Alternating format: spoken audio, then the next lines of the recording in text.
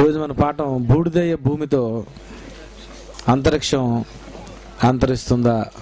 ఈరోజు మన పాఠం బూడిదయ్యే భూమితో అంతరిక్షం అంతరిస్తుందా? ఈ భూమి మీద ఉన్నటువంటి శాస్త్రవేత్తలు అందరూ కలిసి ఈ భూమి ఎప్పటికైనా బూడిదైపోతుంది. కనుక మనం మిగిలినటువంటి గ్రహాలకైనా వెళ్ళిపోవాలి.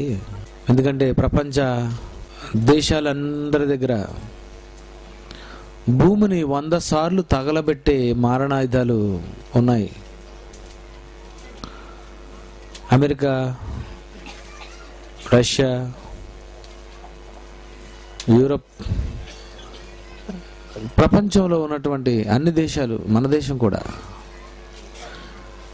అందరి దగ్గర కూడా భూమిని వంద సార్లు తగులబెట్టేటటువంటి మారణాయుధాలు ఉన్నాయి. అంటే భూమిని బూడిద చేసేవచ్చు. అలాంటి వెపన్స్ ప్రపంచంలో అనేకమైనటువంటి దేశాల దగ్గర ఉన్నాయి. అదే బిన్ లాడెన్ దగ్గర ఉంటే అదే ఒకనాటి సద్దాం హుస్సేన్ దగ్గరే ఉంటే అదే దావీదు ఇబ్రాహీం దగ్గర ఉంటే ఈ భూమి మీద చీడ పురుగులు అనే వాళ్ళ దగ్గరే కానీ ఏ నక్సల్స్ దగ్గర ఏ టెర్రరిస్టుల దగ్గర ఏ ఫ్యాక్షనిస్టుల దగ్గర ఇలాంటి మారణాయుధాలే ఉన్నాయి అనుకోండి. ఒకవేళ వాడు కానీ ఈ దేశాన్ని మన భూమిని నాశనం చేయాలి అని ఆత్మాహుతి దాడి భూమి మీద చేసాడు అనుకోండి. మనిషిని చంపాలని ఆత్మాహుతి దళంగా చాలామంది మారిపోతున్నారు. అదే భూమిని కూడా నాశనం చేసేద్దాం ఎవడు కూడా మిగలడానికి వీల్లేదు అని వాడి దగ్గర ఉన్నవి కానీ వాడు పేల్చడం ప్రారంభిస్తే అందరి దేశాల దగ్గర ఉన్నటువంటివన్నీ కూడా ఒకేసారి పేలిపోతే ఈ భూమి దీపావళి అయిపోద్ది. మరి ఇలా ప్రపంచంలో అనేక మంది దగ్గర ఇలాంటి మరణాయుధాలు ఉన్నాయి కనుక ఎప్పటికైనా ఈ భూమికి ప్రమాదమే? మరి ఈ భూమి ఒకవేళ బూడిదైపోతే ఎలా మన పరిస్థితి అని ఆలోచించి చంద్రుని మీదకైనా వెళ్ళిపోవడానికి మనం ఆలోచించాలి? అంగారకుని మీదకైనా వెళ్ళిపోవడానికి మనం ఆలోచించాలి? కనుక అంగారకుని మీద మనిషి బ్రతకొచ్చా? చంద్రుని మీద మన దగ్గరగా ఉన్నటువంటి చంద్రుని మీద మనిషి బ్రతకగలడా? ఏ గ్రహంలో బ్రతకగలడు అని ఈ భూమిని విడిచిపెట్టి మిగిలినటువంటి గ్రహాలలో మనిషి తల దాచుకోవడానికి ఎలాంటి వాతావరణం ఉంది అని అన్వేషిస్తూ మిగిలిన గ్రహాలలోనికి కూడా వెళ్ళాలి అంటే అంగారకుని మీదకి వెళ్ళాలి అంటే మరి అక్కడకు ర్యాకెట్ని కానీ మరి స్పేస్ షటిల్ని కానీ ఇతరత్ర మరి ప్రయాణ సౌకర్యాలు ఉన్నటువంటి వాహనాన్ని ఏదైనా కనిపెట్టాలి అంటే మరి ప్రభుత్వం అంతా కూడా అంగీకరించాలి. ప్రజాధనం కావాలి. మరి ఇంతమంది ధనాన్ని ఖర్చు పెట్టి అక్కడికి వెళ్ళాలి అంటే ఏమీ లేకపోతే మీరు వెళితే ఏం ప్రయోజనం?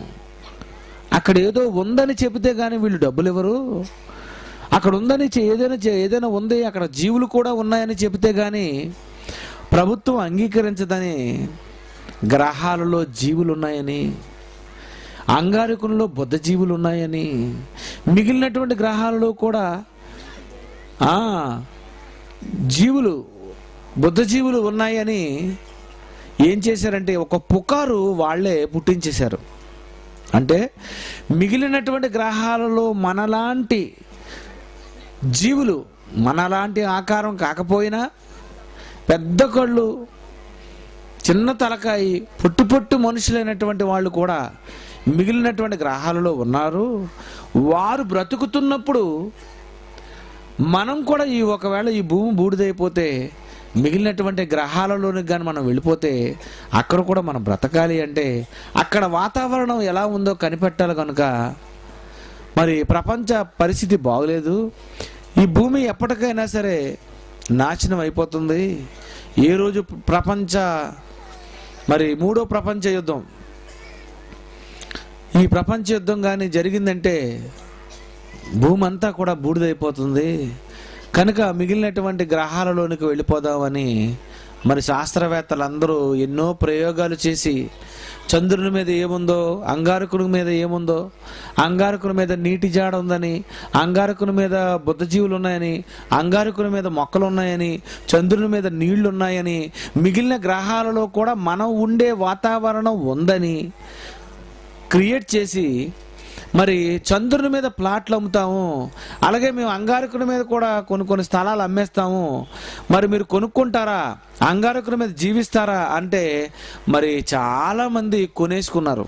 అందులో విజయవాడలో ఉన్న వాళ్ళు కొనుక్కున్నారు. మరి టామ్ క్రూస్ అని హాలీవుడ్ యాక్టర్స్ కొనుక్కున్నారు. అలాగే ఎంతోమంది బాలీవుడ్లో కానీ హాలీవుడ్లో కానీ ప్రపంచంలో అనేక మంది మరి కోట్ల రూపాయలతో అంగారకుల మీద కూడా స్థలాలు కొనేసుకున్నారు. కారణం ఈ భూమి ఒకవేళ బూడిదైపోతే కనీసం మనం మిగిలినటువంటి గ్రహాలలో కూడా బ్రతకొచ్చు. ఎందుకంటే ఈ భూమి మీద జీవులు జీవులు పుట్టాయి అంటే వాటికవే పుట్టాయి. మిగిలిన గ్రహాలలో జీవులు పుట్టాయి అంటే వాటికవే పుట్టాయి. భూమి మీద మొక్కలు ఇవన్నీ నీళ్ళు ఇవన్నీ కలిగాయి అంటే వాటికవే పుట్టాయి. ఏ దేవుడు చేయలేదు. దేవుడే లేడు గనుక ఈ గ్రహంలో ఉన్నటువంటి వాతావరణం మిగిలిన గ్రహాలలో ఎందుకు ఉండదు అని ఈ భూమిని విడిచిపెట్టేస్తే మిగిలినటువంటి అంగారకుని మీద కానీ బుధుడి మీద కానీ శుక్రుని మీద కానీ మిగిలినటువంటి గ్రహాలలో కూడా మనుష్యుడు బ్రతకవచ్చు. ఈ భూ వాతావరణం లాంటి వాతావరణమే మిగిలినటువంటి గ్రహాలలో కూడా ఉందని చెప్పి కోట్ల రూపాయల ఖర్చుతో ఎన్నో రాకెట్లను పంపిస్తూ అక్కడ ఏముందో కనుక్కుంటూ మరి ఎన్నో ఛాయాచిత్రాలను మరి నాసా అంతరిక్ష పరిశోధనశాల మరి శాస్త్రవేత్తలు పంపిస్తూ ఇలా మిగిలినటువంటి గ్రహాలలో కూడా జీవులు ఉన్నాయి మిగిలిన గ్రహాలలో నీరుంది అక్కడ కూడా మనిషి బ్రతకొచ్చు ఇక్కడ ఉన్నటువంటి మనుషులు అక్కడికి చేర్చేయవచ్చు అనని శాస్త్రవేత్తలు భూమి బూడిదైతే మిగిలినటువంటి గ్రహాలలో బ్రతకవచ్చు అన్న ఆశతో ఇలాంటి మరి కార్యక్రమాలు ప్రారంభించారు. రైట్. అయితే మరి ఇంతకీ భూమి బూడిదైపోతే మిగిలినటువంటి గ్రహాలలోనికి మనిషి వెళ్ళగలడా? ఈ గ్రహాలలో కాకుండా మిగిలిన గ్రహాలలో మనిషి బ్రతకగలడా? అంగార్నుకులో ఏముంది? బుధునిలో ఏముంది? శుక్రునిలో ఏముంది? శనిలో ఏముంది? మిగిలినటువంటి గ్రహాలలో ఏముంది? ఈ భూమి మీద ఉన్నటువంటి వాతావరణం లాంటి వాతావరణం విశ్వంలో ఉన్నటువంటి మరి మిగిలినటువంటి గ్రహాలలో ఉందా అని మనం ఆలోచించి చెప్పాలి అంటే మరి ఈ విషయం కరెక్ట్గా చెప్పాలి అంటే బైబిల్ తెలిసినటువంటి క్రైస్తవుడు మాత్రమే చెప్పగలడు. ఎందుకంటే బైబిల్లో ఒక మంచి రిఫరెన్స్ ఉంది. ఈరోజు ఆ రిఫరెన్స్ మీరు చూసిన తర్వాత మీరే అనుకుంటారు క్రైస్తవుడు అంటే అంటే ఇంత గొప్పవాడానని. మొదటి కొరిందీలకు రాసిన పత్రిక రెండో అధ్యాయం ఆరో వచనం పరిపూర్ణులైన వారి మధ్య జ్ఞానమును బోధించుచున్నాము. పరిపూర్ణులైన వారి మధ్య జ్ఞానమును బోధించుచున్నామంటే ప్రపంచంలో శాస్త్రాలలో పరిపూర్ణుడు ఎవడైనా ఒకవేళ నేనే అని అనుకుంటే నాసా సైంటిస్టులైనా మరి మిగిలినటువంటి ఇస్రో సైంటిస్టులైనా ప్రపంచంలో ఉన్నటువంటి మేధావులు ప్రపంచంలో ఉన్న వాళ్ళందరూ ఎవరైతే నేను మహాజ్ఞానిని అని అనుకుంటున్నారో అలాంటి వాళ్ళకు పరిపూర్ణులైన వారి మధ్య జ్ఞానమును బోధించుచున్నాము అని పరిపూర్ణులైన వారి మధ్య జ్ఞానమును బోధించుచున్నాము అంటే క్రైస్తవుడు ఎవరికి బోధించగలడు జ్ఞానం? పరిపూర్ణునికి ఎందులో పరిపూర్ణుడు? ఎందులోనైనా? వృక్ష శాస్త్రంలోనా ఖగోళ శాస్త్రంలోనా అంతరిక్ష శాస్త్రంలోనా? అసలు నువ్వు ఎందులో పరిపూర్ణుడు చెప్పు. ప్రకృతిలో ఉన్నటువంటి శాస్త్రాలు ఎన్నైతే ఉన్నాయో సకల శాస్త్రాలలో నువ్వు ఎంత పండితుడవైనా ఆ శాస్త్రాలలో నువ్వు పరిపూర్ణుడవైనా పరిపూర్ణులైన వారి మధ్య జ్ఞానమును బోధించుచున్నాము అనని పౌలు గారు ఆనాడు అన్నారు అంటే క్రైస్తవుడు అనేవాడు ప్రపంచంలో ఉన్నటువంటి శాస్త్రవేత్తలకే మహాజ్ఞానాన్ని బోధించేవాడని. క్రైస్తవుడికి తెలిసినంత జ్ఞానం ప్రపంచంలో ఎవడికి తెలియదని క్రైస్తవుడికి తెలిసినది అంతా తెలుసని. ఈరోజు ప్రపంచంలో మనిషికి తెలిసినది గోరంతని క్రైస్తవుడికి తెలిసినది కొండంతని. రజనీ రజనీకాంత్ ఇలాగ అనుకోకండి. ఈ లోకంలో మనిషికి తెలిసిన గోరింతని. క్రైస్తవుడికి తెలిసినది కొండంతని ఈ వాక్యాన్ని బట్టి నిజంగా మీకు అర్థమైతేనండి మన ముందు ప్రపంచంలో ఏ సైంటిస్టు ఏ శాస్త్రపరమైనటువంటి ఎలాంటి శాస్త్రవేత్త అయినా వాడు మన ముందు నిలబడలేడు. ఎందుకంటే వాడికి ఏం తెలుసని చెప్పినా ముందే మాకు తెలుసని మీరు చెప్పుకోవచ్చు. కారణం ప్రకృతిలో ఉన్నటువంటి ఈ శాస్త్రవేత్తలు ప్రకృతిని చూసి శాస్త్రాన్ని రాశారు వృక్షాన్ని చూసి వృక్ష శాస్త్రం ఖగోళాన్ని చూసి ఖగోళ శాస్త్రం రాశాడు మరి ఆకాశాన్ని చూశాడు అంతరిక్ష శాస్త్రం రాశాడు. ఇలా ప్రపంచంలో ఎన్ని శాస్త్రాలు అయితే ఉన్నాయో ప్రతి దాని మీద శాస్త్రవేత్త పుస్తకం రాశాడు అంటే చూసి రాశాడు. ఏం చేశాడు? చూసి రాశాడు. మొక్కలు చూశాడు రాశాడు. పక్షిని చూశాడు రాశాడు. జంతువులు చూశాడు రాశాడు. సముద్రాన్ని చూశాడు రాశాడు. వాడు చూశాడు రాశాడు. మీరు చదువుకోవాలి. వాడు చూశాడు రాశాడు మీరు చదువుకోవాలి. ఈ చదువులన్నీ ఎక్కడ ఉన్నాయి బడుల్లోని. బడుల్లో ఏం చదువుకుంటారు? వాడు రాసింది పుస్తకం ఆ పుస్తకం మీరు చదువుకోవాలి. అంతేనా? యూనివర్సిటీల్లో కానీ ఎలిమెంటరీ స్కూల్లో కానీ ప్రపంచంలో ఎలాంటి ఎక్కడ కళాశాలలోనైనా మీరు నేర్చుకోవాలంటే శాస్త్రవేత్తలు రాసిన పుస్తకాలు మీరు చదువుకోవాలి తప్ప క్రొత్తగా అంటూ ఏమీ లేదు. అయితే శాస్త్రవేత్తల ప్రకృతిని చూసి పుస్తకం రాస్తే ప్రకృతి ఎలా పుట్టింది? దేవుని వాక్యము వలన పుట్టింది. దేవుని వాక్యము వలన పుట్టినటువంటి పుస్తకం ఎవరి చేతిలో ఉంది? మీ చేతిలో ఉంది. చంద్రు గురించి చంద్రుని పుట్టించింది ఎవరు? దేవుని వాక్యం. దేవుడు దేవుని వాక్యం. సూర్యుని చేసింది ఎవరు? దేవుడు దేవుని వాక్యం. పువ్వులను చేసింది ఎవరు? దేవుడు దేవుని వాక్యం. కాయలు చేసింది ఎవరు? దేవుడు దేవుని వాక్యం. మరి సముద్రాలు చేసింది ఎవరు? దేవుడు దేవుని వాక్యం. ఇవన్నీ కలిగించింది ఎవరు? దేవుడు దేవుని వాక్యం. ఆ దేవుని వాక్యం ఎవరి దగ్గర ఉంది? మీ దగ్గర ఉంది. ఒక్కొక్క పుస్తకం మీద ఒక్కొక్క సబ్జెక్టు మీద పరిపూర్ణుడైన వాడు గొప్పవాడా? ప్రకృతి అంతటి మీద రాయబడినట్టు పుస్తకం నువ్వు చదువుకున్నావంటే వాడికంటే నువ్వు మేధావ్వా? ఆలోచించు. అర్థం లేదా వృక్ష శాస్త్రాలు తీశాడు. వృక్షం దాని మీద ఒక పుస్తకం రాశాడు. వాడికి ఏం తెలుసు అనమాట ఆ పుస్తకం చదివే వాడికి వృక్షం గురించే తెలుస్తుంది. జంతువుల మీద పుస్తకం రాశాడు. ఆ పుస్తకం చదివితే ఏం తెలుస్తుంది? జంతువుల గురించి తెలుస్తుంది.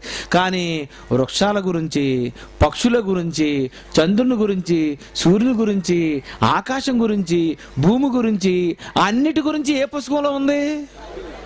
బైబిల్లో ఉంది. ఇప్పుడు బైబిల్ తెలిసిన వాడు పరిపూర్ణుడా? ఒక పుస్తకం చదివిన వాడు పరిపూర్ణుడా? మనుషులు రాసిన అక్కడక్కడ రకరకాల పుస్తకాలు చదివినవాడు మేధావా? మనుషులు రాసినవన్నీ ప్రకృతి నుండి రాశారు గనుక ఈ ప్రకృతిని కలిగించింది దేవుని వాక్యం గనుక ఆ దేవుని వాక్యం మీకు తెలుసు గనుక మీరు పరిపూర్ణులా అని మనం ఆలోచిస్తే మనకు తెలిసినంత సబ్జెక్టు ప్రపంచంలో ఎవడకి తెలియదు. ఎందుకంటే నీకు ఒక సబ్జెక్టు మీద నువ్వు పరిపూర్ణుడివేమో కానీ నేను అన్ని సబ్జెక్ట్స్ మీద పరిపూర్ణుడను అని నువ్వు చెప్పుకోవాలంటే నీకేం తెలియాలి? ఆది కాండం మొదలుకొని ప్రకటన గ్రంథం వరకు అరవై ఆరు పుస్తకాలు నీకు తెలిసిందంటే ఈ ప్రకృతి గురించినటువంటి పూర్తి బయోడేటా ఆత్మల గురించిన పూర్తి బయోడేటా దేవుని గురించిన పూర్తి వివరణ దెయ్యం గురించిన పూర్తి వివరణ మనుషుల గురించిన పూర్తి వివరణ మూడు లోకాల గూర్చిన పూర్తి వివరణ ఇందులో ఉంది.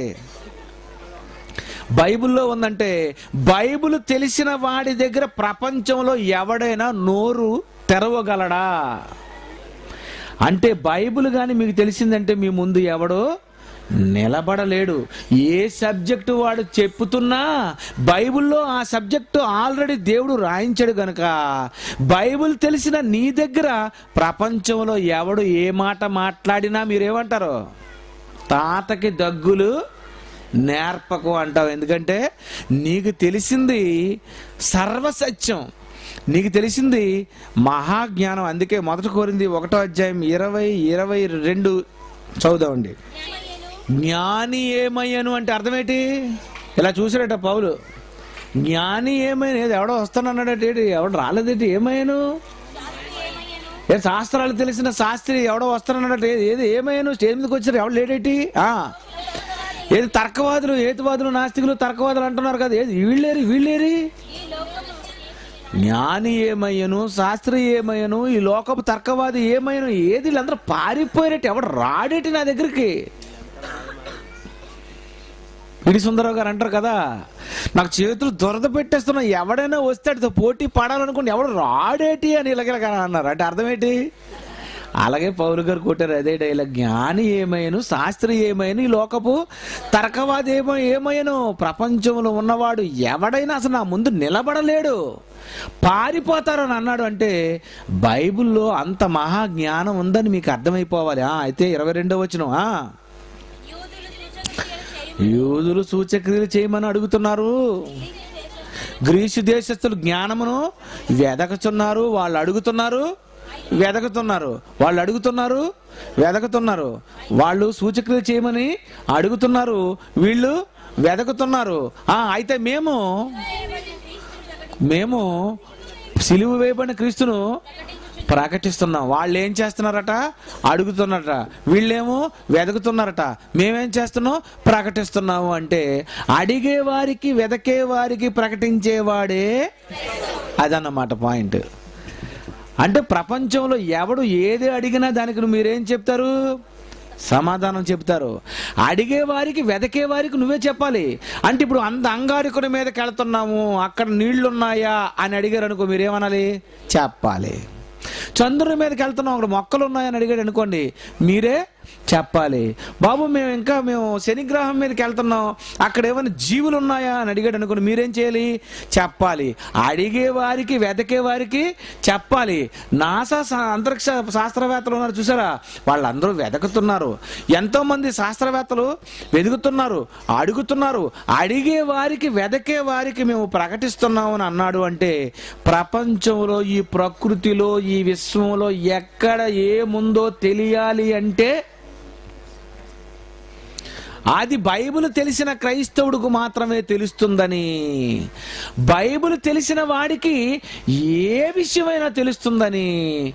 పరిపూర్ణులైన వారి మధ్య జ్ఞానమును బోధించేవాడే క్రైస్తవుడని మీకు ఒకవేళ అర్థమైపోతే ప్రకృతిలో ఉన్నటువంటి ఏ విషయం ఎవడు అడిగినా ప్రకటన ఒకవేళ ప్రశ్న అడిగినా ఏమండి ఇలాగా మనం తెలుసుకోవాలనుకుంటున్నామని ఒకవేళ నీ దగ్గరకు వచ్చాడనుకో వెంటనే నువ్వు చెప్పగలవు. ఎందుకంటే నీ దగ్గర ఉన్నటువంటి బైబిల్లో దేవుడు నీకు తెలియవలసిందంతా కూడా దేవుడు రాయించాడు. కనుక ప్రియమైన దేవుని పిల్లరా ప్రపంచంలో ఉన్నటువంటి నాసా శాస్త్రవేత్తలు ఇస్రో శాస్త్రవేత్తలు ప్రపంచంలో ఎంతోమంది మరి శాస్త్రవేత్తలు అందరూ కలిసి ఈ భూమిని విడిచిపెట్టిన తర్వాత మిగిలిన గ్రహాలలో ఏముందో అన్న దాని గురించి పరిశోధనల్లో కోట్ల రూపాయలు ఖర్చు చేసి అక్కడికి వెళుతున్నారు. ఇంతకీ అంగారకుని మీద ఏముంది? బుద్ధుని మీద ఏముంది? శనిలో ఏముంది? శుక్రుని మీద ఏముంది? ఫ్లూటోలో ఏముంది? అసలు మిగిలిన గ్రహాలలో ఏముంది? అన్న సంగతి ప్రపంచంలో ఇంతవరకు ఎవరికి తెలియని ఒక అద్భుతమైనటువంటి విషయాన్ని ఈరోజు మీరు వినబోతున్నారు. మిమ్మల్ని నేను అంతరిక్షంలో ఉన్నటువంటి అన్ని నక్షత్రాల దగ్గరకు అన్ని గ్రహాల దగ్గరకు మొత్తం మీకు విశ్వం అంతా కూడా నేను మీ కళ్ళ ముందు చూపిస్తాను. అవసరమైతే మిమ్మల్ని ఎక్కడ పడితే అక్కడికి నేను తీసుకెళ్ళిపోతాను. అది మన పాఠం ఈరోజు. ఓకే? రైట్. ఇప్పుడు భూమి బూడిదైపోతే అంతరిక్షం అంతరిస్తుందా? ఇంతకీ భూమి పరిస్థితి ఏంటి? అంగారకుని పరిస్థితి ఏంటి? బుద్ధుని పరిస్థితి ఏంటి? మిగిలినటువంటి గ్రహాల పరిస్థితి ఏంటి? నక్షత్రాల పరిస్థితి ఏంటి? ఆకాశం పరిస్థితి ఏంటి? ఇవన్నీ కూడా మనం తెలుసుకోవాలి అంటే దేవుణ్ణి అడుగుదాం. దేవుడు చెప్తాడు మనకి. ఎందుకు? దేవుణ్ణి అడిగితే ఈ విశ్వాన్ని కలిగించింది ఎవరు? ఎవరండి? దేవుడే. విశ్వాన్ని కలిగించినటువంటి దేవుణ్ణి అడిగితే ఆయన మనకు చెప్తాడు కానీ తర్వాత పుట్టినోడు ఎవరు? మనిషి. అందుకే మనిషిని అడగండి ముందు సృష్ట మనిషి ముందా? సృష్టి ముందు. సృష్టి ముందేనా? ఆ సృష్టి తర్వాత పుట్టింది ఎవరు? మనిషి. ముందు పుట్టినోడికి తెలుస్తుందా? తర్వాత పుట్టినోడు తెలుస్తుందా? ముందు పుట్టినోడు తెలుసు. అంటే సృష్టి నీకంటే ముందు పుట్టింది గనక నీకంటే ముందు పుట్టిన ప్రకృతిని పుట్టించింది దేవుని వాక్యం గనుక ఆ వాక్యం వల్లే ప్రపంచములు నిర్మాణమైనవి గనుక ప్రకృతిని కలిగించిన దేవుడే ప్రకృతి యొక్క పుట్టు పూర్వత్రాలు చెప్పగలడు. అన్నిటి గురించి దేవుడు చెప్పగలడు. అన్నిటి కూడా అన్నిటి గురించి కూడా దేవుడు బైబిల్లో రాయించాడు. కొంత ఎచ్చట కొంత అచ్చట దేవుడు రాయించట ఎచ్చట ఎచ్చటెచ్చటో ఉన్న వాటినన్నిటినీ ఇచ్చటికి కూర్చి మనం అసలు దీని సంగతి ఏదో తేల్చుకుందాము. రైట్. ఇప్పుడు ఈ విశ్వం అసలు ఎలా ఉంది? దీని పరిస్థితి ఏంటి? ఎలా పుట్టింది? అని మనం ఆలోచిస్తే దేవుడు ఎలా కలిగించాడో అన్నది మనం కానీ జాగ్రత్తగా సృష్టి కార్యక్రమం దగ్గరికి వెళ్ళినట్లయితే ఇంతకి భూమి సంగతి ఏంటి? మిగిలిన గ్రహాల సంగతి ఏంటి? విశ్వం సంగతి ఏంటో అన్ని సంగతులు మనకు అర్థమైపోతాయి కనుక మరి ఆది కాండం మొదట అధ్యాయం మొదటి వచ్చంలో అసలు విషయం మనం ఆలోచిద్దామండి. ఆది ఎందు దేవుడు భూమి ఆకాశములను సృజించి సృజించను ఆది కాండంలో మొదటి అధ్యాయం మొదటి వచనంలో ఆది ఎందు దేవుడు భూమి ఆకాశములను సృజించను అని అన్నాడండి. మరి భూమి ఆకాశములను సృజించను అన్న తర్వాత భూమి నిరాకారముగా శూన్యముగా ఉండని అంటాడేటి? భూమిని చేసేసిన తర్వాత మళ్ళీ భూమి నిరాకారం శూన్యం ఏంటి? మళ్ళా మూడో దినాన్ని ఏం పుట్టింది? మూడో దినాన్ని దేవుడు ఏం కలిగి చేశాడు ఆరిన నెలకు దేవుడు భూమి అని పేరు పెట్టను అని చదువుకున్నారు. అంటే మూడో దినం ఏం పుట్టింది? భూమి పుట్టింది. మరి ఆది ఎందు దేవుడు భూమి ఆకాశం సృజించను అన్నాడేటి? ముందు పుట్టిన భూమి ఏంటి? మూడో దినాన్ని పుట్టిన భూమి ఏంటి? అంటే రెండు భూములు ఉండేవని మొదటి భూమిలో కూడా మనుషులు ఉండేవారని రెండో భూమిలో కూడా మనుషులు ఉన్నారని ఈ రంజిత్ ఎర్రిపీరి అని ఉన్నాడు చూశారు? వాడు చెప్పుకుంటున్నాడు. వాడికి తెలియదు. బైబిల్లో ఉన్నటువంటి వాక్యాలు చాలా జాగ్రత్తగా ఆలోచించి చదవాలి. ఆది ఎందు దేవుడు భూమి ఆకాశములను సృజించానని ఒక్క మాటలో చెప్పేశాడు. ఏమని? నేను భూమి ఆకాశాన్ని చేశానని. ఆకాశం ఎప్పుడు ఎప్పుడు చేశాడని ఉంటుంది? తర్వాత కదండి. రెండో రోజు కదా ఆకాశం చేశాడు. మరి ఆది ఎందు దేవుడు భూమి ఆకాశం సృజించారంటే ఆ మాట సంగతి ఏంటి? అంటే దాని ఉద్దేశం ఏంటంటే బైబిల్లో మెయిన్ విషయం ముందు చెప్పేశాడు ఏమని?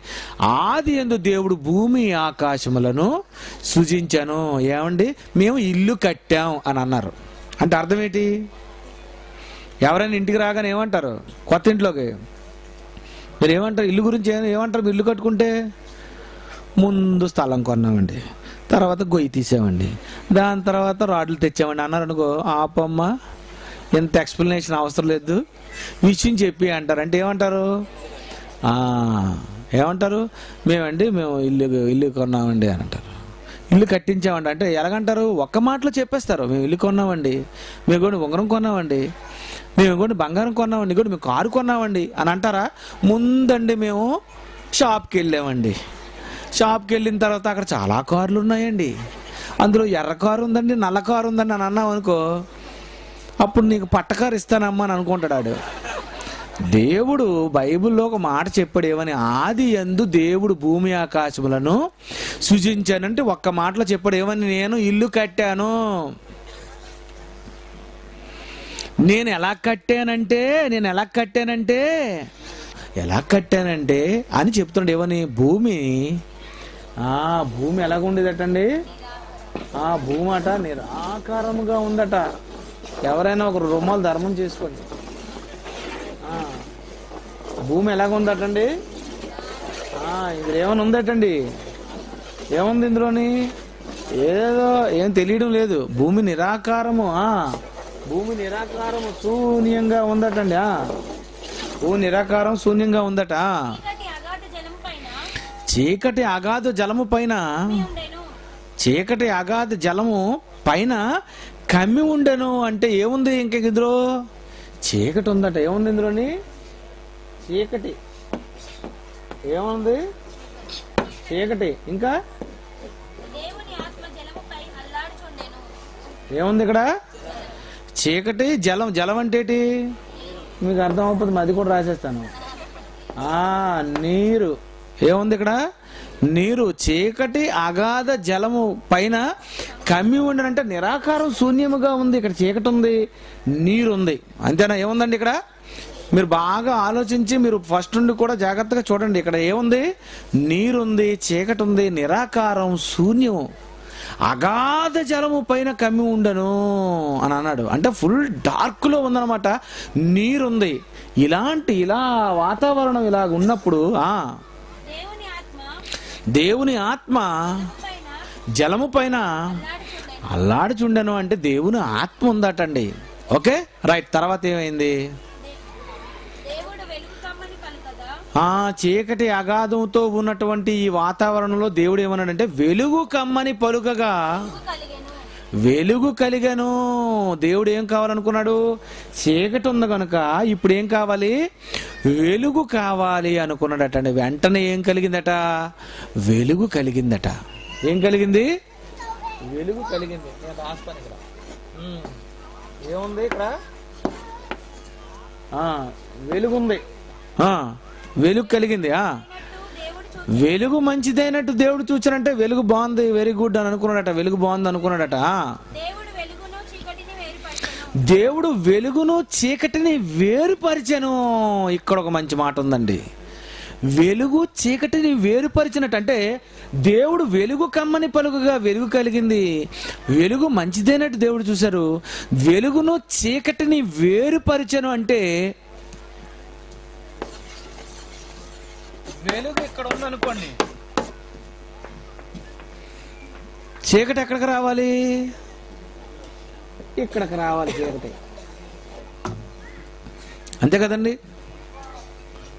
మీకు ఉదాహరణ చెప్తాను. చీకటిలో టార్చ్ లైట్ వేశారు.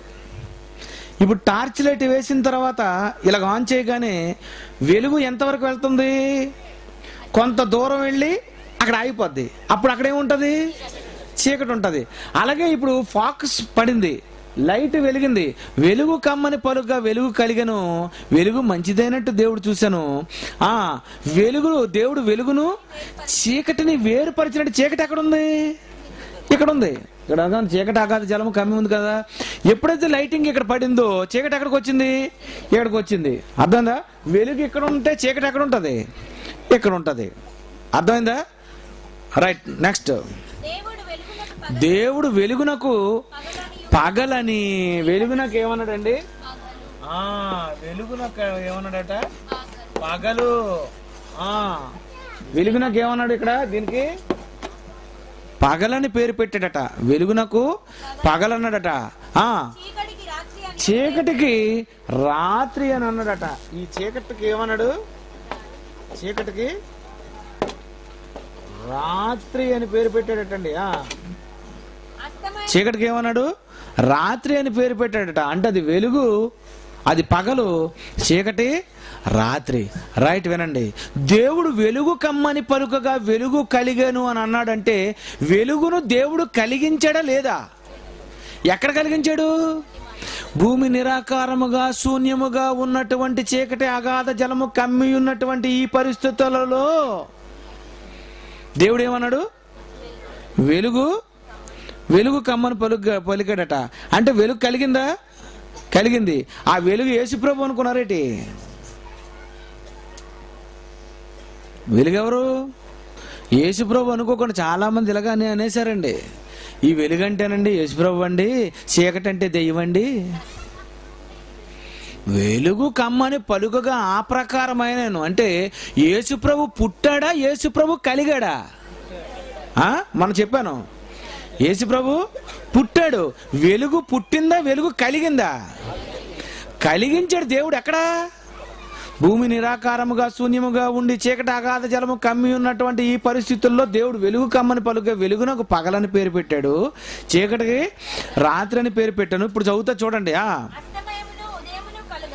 అస్తమయము ఉదయము కలుగగా. ఇదేటిది ఇది? ఇక్కడ మనకు అర్థం అవ్వాలి. అస్తమయము ఉదయం. అస్తమయము ఉదయం. రైట్ సాయంత్రం అవగానే సూర్యుడు ఏమవుతాడు? అస్తమిస్తాడు. మళ్ళా తెల్లవారు ఆరు గంటలకు ఏమవుతుంది? ఉదయిస్తాడు. అస్తమయము ఉదయం కలగాలంటే ఏం జరగాలి చెప్పండి? జనరల్ క్వశ్చన్ ఇది. అస్తమయము ఉదయం జరగాలంటే ఏమవ్వాలి? ఉదయం సూర్యుని చూశారు వాళ్ళు అటువైపు మధ్యాహ్నం పన్నెండు గంటలకు ఎక్కడికి వచ్చాడు పైకి వచ్చాడు. ఎలాగొచ్చాడు? తిరిగాడు. జనరల్ నాలెడ్జ్ ఉండాలి మీరు.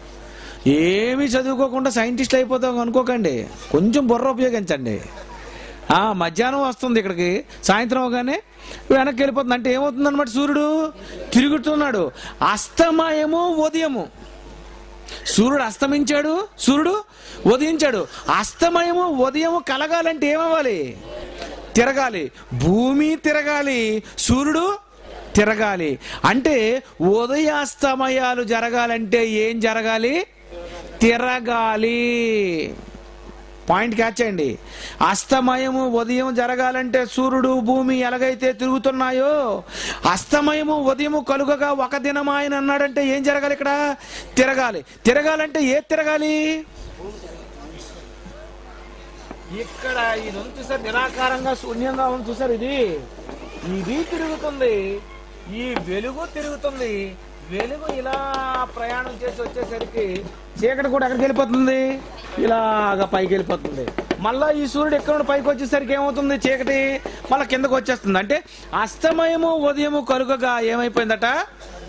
ఒక దినం ఆయన అన్నాడు రైట్ ఇప్పుడు తిరగాలంటే నాలుగు పలకలుగా ఉంటే తిరుగుతాదా? త్రికోణంలో ఉన్న తిరుగుతుందా? గుండ్రంగా ఉంటే తిరుగుతుందా? ఎలా ఉంటే తిరుగుతుంది? గుండ్రంగా సర్కిల్ అయితేనే తిరుగుతుంది అంతేనా? గుండ్రంగా ఉంటే తిరుగుతుంది. అంటే ఇప్పుడు ఇదంతా తిరగాలి అంటే ఇది గుండ్రంగా ఉందా నాలుగు పలకలుగా ఉందా లేకపోతే త్రిభుజాకారంలో ఉందా అని మనం ఆలోచిస్తే మళ్ళా బైబిల్నే అడిగేద్దాం. యాకోబు మూ- మూడో అధ్యాయం ఆరో వచనం. నాలుక అగ్నియే. నాలుక మన అవయవములలో. ఉంచబడిన పాప ప్రపంచమై సర్వ శరీరమునకు మాలిన్యము కలుగజేయచ్చు ఆ ప్రకృతి చక్రమునకు చిచ్చు పెట్టును అన్నాడంటే ఇక్కడ మనకి వాటి అర్థమైంది ఏమని? ప్రకృతి చక్రము. ప్రకృతి చక్రము. అంటే ఇప్పుడు ఇది ఎలా ఏ ఆకారంలో ఉంది? చక్రం. ఇది ఎలా ఉందండి? ఇది చక్రం. ఇది ఎలా ఉంది? ఆ, ఏ ఆకారంలో ఉందన్నమాట? ఆ చక్రం ఆకారంలో ఉంది ఇది. ఇదేంటి ఇది? చక్రం. అస్తమయము ఉదయమును కలుగగా ఒక దినమాయను అన్నాడు అంటే ఇది ఏ ఆకారంలో ఉంది? చక్రంలో ఉంది. అంటే చక్రం అంటే ఎలా ఉంటది? గుండ్రంగా ఉంటుంది. Round circle. అస్తమయము ఉదయమును కలుగా ఒక దినం ఆయన అంటే ఈ మొదటి దినం ఏం చేశాడు దేవుడు అంటే వెలుగు చీకటిని వేరుపరిచాడు వెలుగు కమ్మని పలికాడు. దీని అంత అస్తమయము ఉదయం కరుగ్గా ఏమైపోయింది? ఒక దినం అయిందట. అంటే మొదటి దినం ఏం చేశాడు? వెలుగు చేశాడు. మొదటి దినం వెలుగు చేశాడు కదా. మొదటి దినం భూదినమా? విశ్వచక్ర దినమా భూమి ఉందేటి అప్పటికి? భూమి పుట్టిందేటి సూర్యుడు ఉన్నాడేటి చంద్రుడు ఉన్నాడేటి నక్షత్రాలు ఉన్నాయేటి లేవు. ఇది ఏ కాలం? విశ్వకాలం. ఇదేం కాలం? విశ్వకాలం ఇది. ఇదే కాలం? విశ్వకాలం. మర్చిపోకండి. ఇది ఏంటిది? విశ్వకాలం అది. ఆ అంటే ఇప్పుడు ఈ చక్రం మీద ఏముంది? సూర్యుడు కాదు. వెలుగు జాగ్రత్తగా నాకు బైబిల్లో ఏ భాష ఉందో ఆ భాష ఉపయోగించండి. మీరు సూర్యుడని ఎందుకు అనుకుంటున్నారు? సూర్యుడిలాగా వేసానన్నా. దేవుడు వెలుగు అన్నాడా సూర్యుడు అన్నాడా సూర్యుడిని సూర్యుడు అన్నాడా. అన్నాడు దీన్ని ఏమన్నాడు వెలుగు అన్నాడు వెలుగుని ఇంకేమన్నాడు? పగలని పేరు పెట్టాడు. అంటే ఇప్పుడు విశ్వచక్రం మీద ఏముంది? వెలుగుంది. దీని గురించి యోబు గారు చెప్పారు. యోబు గ్రంథం ముప్పై ఎనిమిది ఇరవై వచ్చిన చూడండి. చీకటి అనుదాని.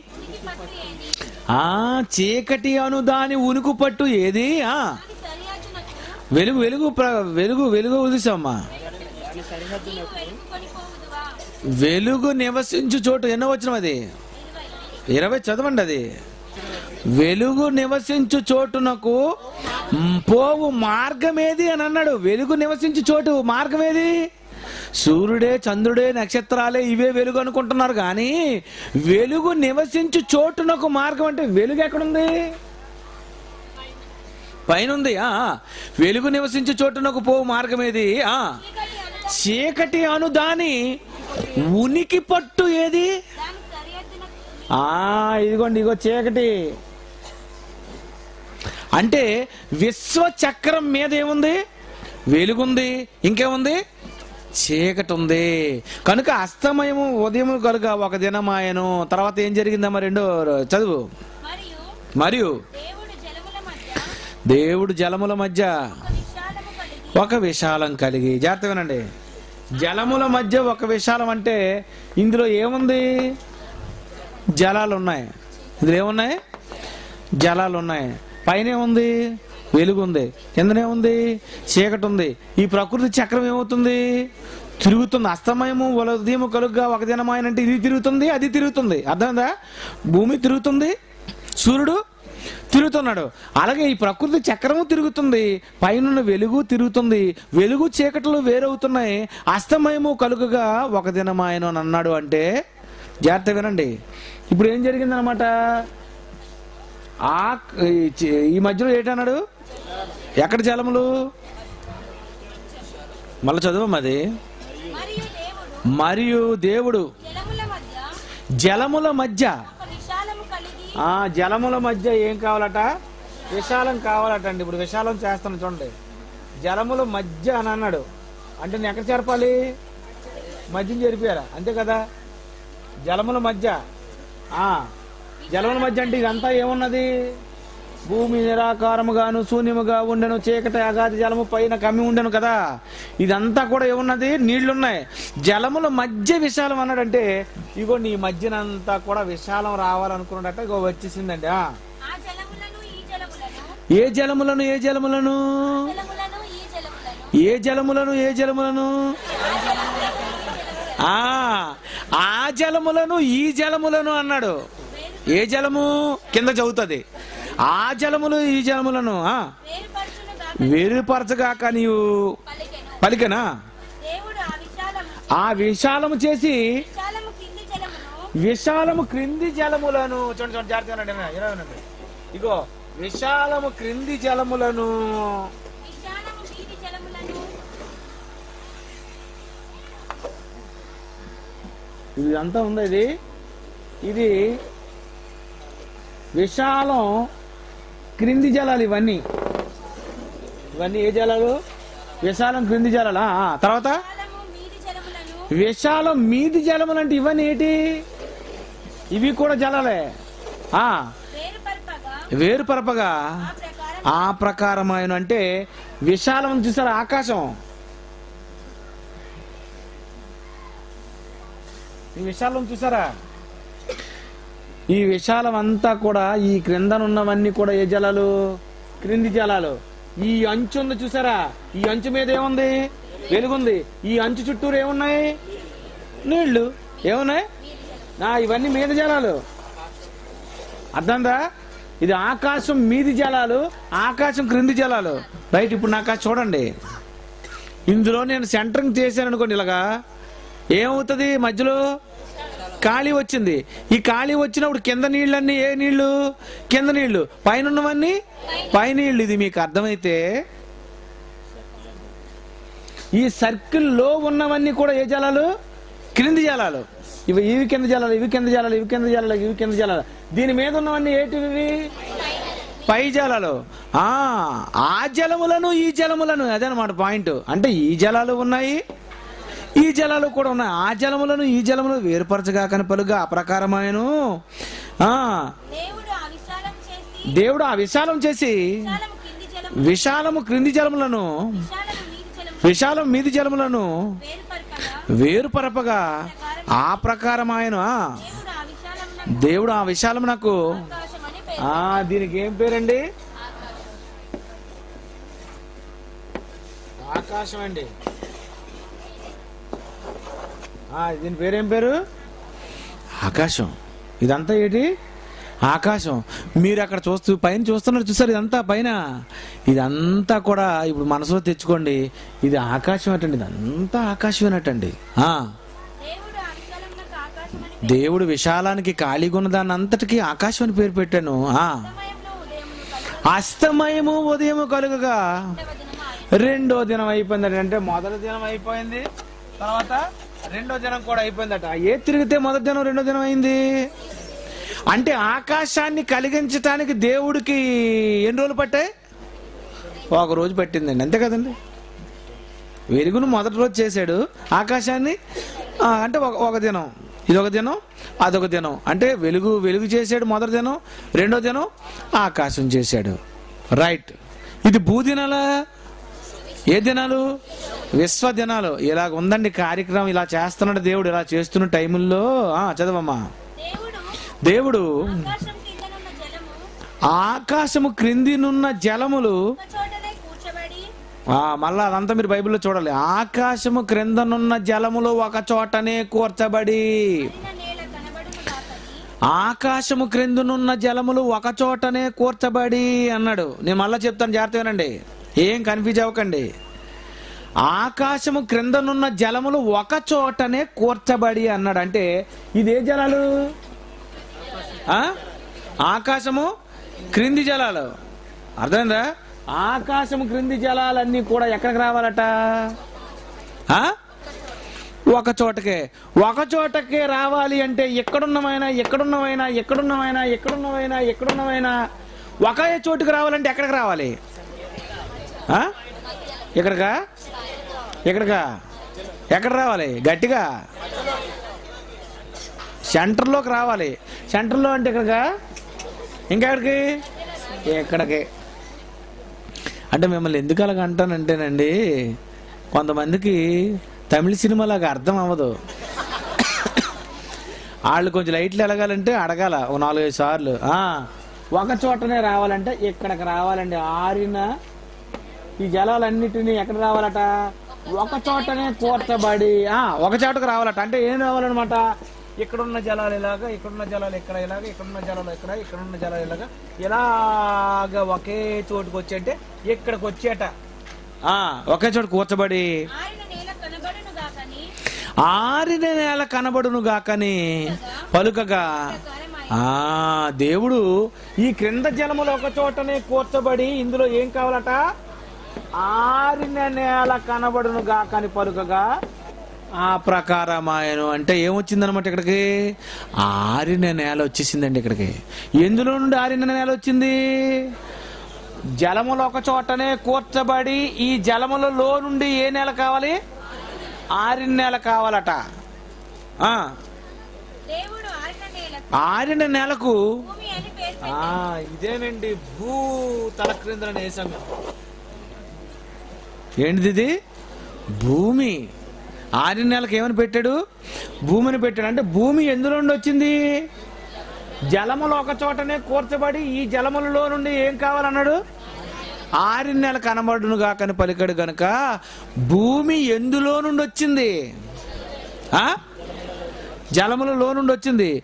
భూమి జలములలో నుండి రాక మునుపు భూమిగా రాకముందు భూమి ఎలా ఉంది?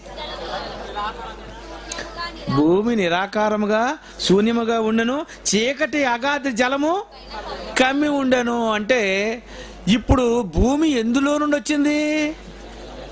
జలములలో నుండి వచ్చింది. ఈ విషయం పేతురు గారు చెప్తున్నారు. రెండో పేతురు మూడో అధ్యాయం.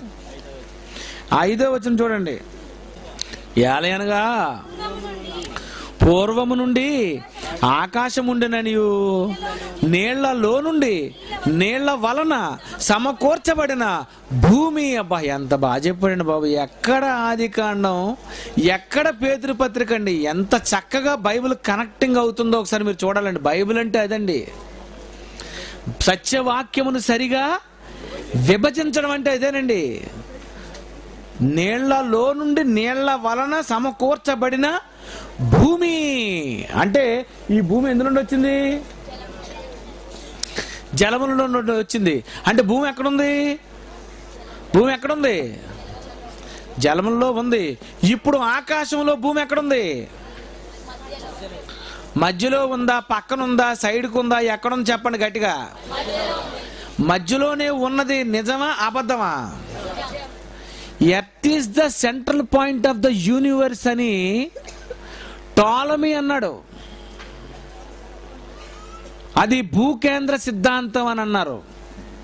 అలాగే Socrates sun is the centre point of the universe అన్నాడు. అంటే సూర్యుడు సూర్యుడు విశ్వానికి సెంటర్ పాయింట్ అన్నాడు ఒక అతను టాలమీ అన్న శాస్త్రవేత్త భూమి సెంటర్ పాయింట్ అన్నాడు. వీళ్ళిద్దరూ పుట్టక ముందు ఇంకా పుట్టలేదు వాళ్ళిద్దరు. ఆ? బచ్చగాళ్ళు వాళ్ళు తమ్ముడు అంటున్నాడు. ఇంకా వాళ్ళు పుట్టలేదు బొడ్డే కొయ్యలేదు అంటారు. అందుకే సుందరరావు గారు. వాళ్ళిద్దరే పుట్టక ముందే భూమి ఎక్కడుందని దేవుడు చెప్పాడు? ఇదేనికి మధ్యలో? ఆ ఆకాశానికి విశ్వానికి సెంటర్ ఏది ఉంది భూమి ఉంది ఇది నిజమా అబద్ధమా? భూమి ఉందండి. విశ్వానికి సెంటర్ పాయింట్ భూమి. ఆ భూమి చేశాడట. దేవుడు ఆరిన నేలకు. భూమి అని పేరు పెట్టాడట. ఆరిన నేలకు భూమి అని పేరు పెట్టి. తర్వాత? జలరాశికి. ఇవి ఎలాగొచ్చాయి? సముద్రాలు ఎలాగొచ్చాయి?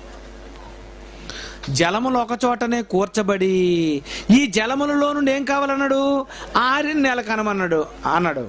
ఇప్పుడు జాగ్రత్త ఇవన్నీ జలాలు అనుకోండి ఇలాగా. ఇందులో ఇట్టుండి ఇలా భూమి బయటకు వచ్చింది అనుకోండి. ఆరిన నెల బయటకు వచ్చింది. ఈ చుట్టూరు ఏమైపోతాయి? వాటర్ ఉంటుంది. వీటికి ఏమని పేరు పెట్టాడు? సముద్రం అని పేరు పెట్టాడు. అంటే ఒక బకెట్లో బంతి వేసుకుంటే ఏమవుతుంది?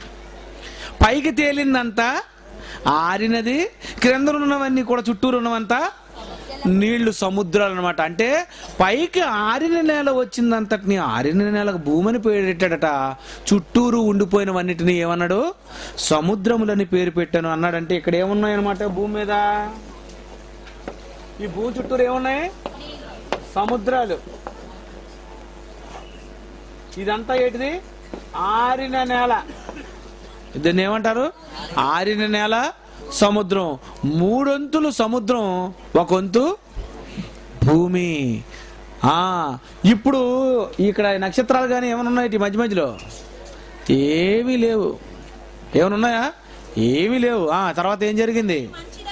అది మంచిదని దేవుడు చూచాను. దేవుడు గడ్డిని విత్తనములిచ్చి చెట్లను. భూమి మీద తమ తమ జాతి ప్రకారము. తమలో విత్తనములు గల ఫలమిచ్చు ఫలవృక్షములను భూమి మొలిపించుగా కాని పలుకగా ఆ ప్రకారం ఆయన అంటే దేవుడు ఏమన్నాడట గడ్డి కావాలి విత్తనములు ఇచ్చి చెట్లు కావాలి. అవి ఏది మొలిపించాలి? భూమి మొలిపించుగాక అన్నాడు. అంటే ఇప్పుడు భూమి మీద ఏమున్నాయి చెప్పండి? గడ్డి ఆ. చెట్లు.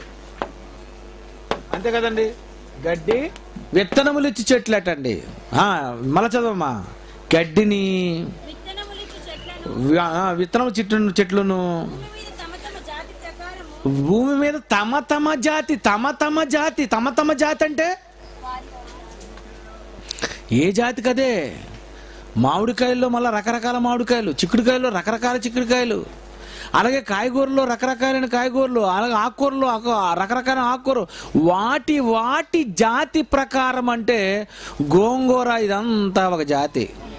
తోటకూర ఇదొక రకమైన జాతి. ములంకాళ్ళు ఇదొక రకమైన జాతి. వంకాయ ఇదొక రకమైన జాతి. వాటి వాటి జాతి ప్రకారం అన్నాడంటే ఏ కాయగూర ఆ కాయగూరలో నుండే రావాలే తప్ప వంకాయ చెట్టుకి బెండకాయ కాయడం కొబ్బరికాయకేమో తాటికాయ కాయడం ఇలాంటివి జరగవు. ఎందుకంటే దేవుడు పలికాడట వాటి వాటి జాతి ప్రకారము అన్నాడంటే అర్థం ఏంటి ఏ జాతికి ఆ జాతే కలుస్తుందే తప్ప ఇష్టం వచ్చిన జాతులు కలవటం ఇలాంటివేవి జరగలేదు ప్రారంభంలో. ఆ తమలో విత్తనములు గల ఫలమిచ్చు ఫలవృక్షములను. భూమి మొలిపించుగాకని పలుగ్గా ఆ ప్రకారం ఆయను. భూమి గడ్డిని తమ తమ జాతి ప్రకారము విత్తనములు చెట్లను తమ తమ జాతి ప్రకారము తమలో విత్తన తమలో విత్తనములు గల వృక్షములను ఫలవృక్షములను మొలిపింపగా. అది మంచిదని దేవుడు చూశాను. వెరీ గుడ్ భలేగా ఉందమ్మా. భూమి మీద మొత్తం గడ్డి విత్తనాలు చెట్లు అన్నీ వచ్చేసాయండి. రెడీగా ఉన్నది. అర్థమైందా? అప్పుడు సూర్యుడు ఉన్నాడా? మరి సూర్యుడు లేకుండా మొక్కలు ఎలా వచ్చాయి? ఇదొక ప్రశ్న చెత్త ప్రశ్న. సూర్యుడు లేకుండా మొక్కలు ఎలాగ వచ్చాయని అడుగుతారు చాలామంది సైంటిస్టులు. చాలామంది చదువుకున్న వాళ్ళు. సూర్యుడు లేకుండా మొక్కలు బతకలేవా? అసలు బ్రతికించింది ఎవరు? దేవుడు. దేవుడు చేయలేడా? చేత కాదా? దేవునికి అసాధ్యమైనది ఏది?